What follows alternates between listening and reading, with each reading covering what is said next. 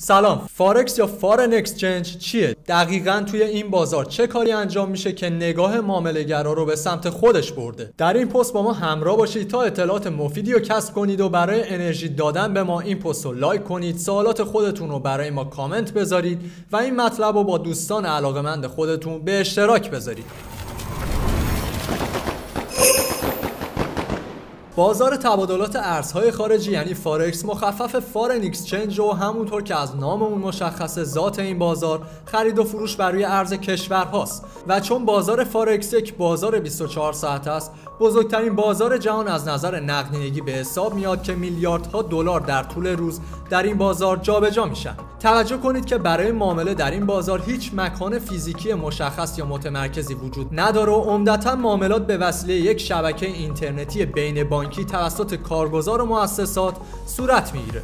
حالا ممکنه که برای شما این سال پیش بیاد که چگونه میشه با خرید یک ارز شما اصلا به کسب سود برسید.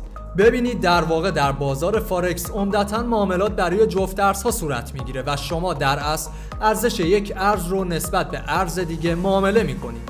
برای مثال یورو یو یکی از جفت ارزهای بسیار محبوبیه که حجم معاملات بسیار بالایی هم توی این بازار داره. در اصل معامله گران برای معامله برای این نماد زمانی که در نظر دارن قیمت یورو نسبت به دلار افزایش پیدا می‌کنه اقدام به خرید می‌کنن. یعنی یورو رو در مقابل دلار خریداری کردن. و زمانی هم که در نظر دارن ارزش دلار نسبت به یورو در حال افزایشه اقدام به فروش می‌کنن. یعنی در واقع اونا با فروش این نماد دلار رو نسبت به یورو خریداری کردن. لازم به ذکر که این بازار فقط و فقط به تبادلات ارزی محدود نمیشه و در بسیاری از بروکرها امکان معامله بر روی دارایی مثل فلزات، نفت، سهام ها و اخیرا ارزهای دیجیتال برای معامله گران فراهم شده.